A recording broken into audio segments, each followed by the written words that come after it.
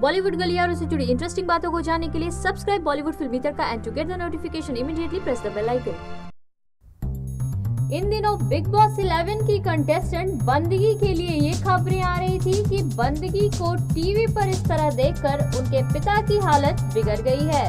पर इसके बारे में बंदगी के भाई ने जो बताया, वह चौंकाने वाला था। आपको याद होगा कि मीडिया में एक खबर आई थी, जिसके अनुसार बंदगी के बारे में बताई गई थी कि उसके पिता हॉस्पिटलाइज हैं।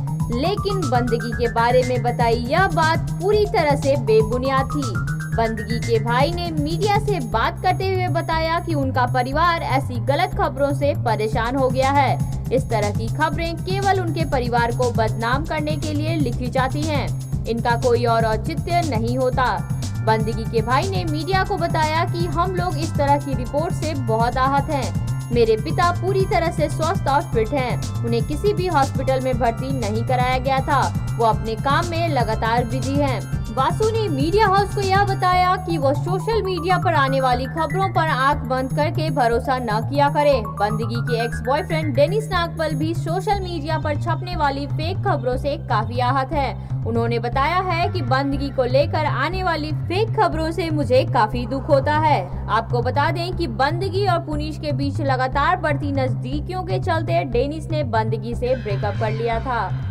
बंदगी और पुनीश को शो पर कई बार एक दूसरे के साथ करीबियाँ बढ़ाते देखा गया है। यहाँ तक कि सलमान खान खुद दोनों को डांट लगा चुके हैं। सलमान खान ने दोनों को हिदायत दी थी कि आप शो पर जो भी कर रहे हैं, वो नेशनल टेलीविज़न पर प्रसारित होता है, जिसे आपके घर वाले भी देखते हैं। तो आपको ध्यान रखना चाहिए कि आप क्या काम करने जा रहे हैं। For more new updates and gossip stay connected with Bollywood Filmy Tadka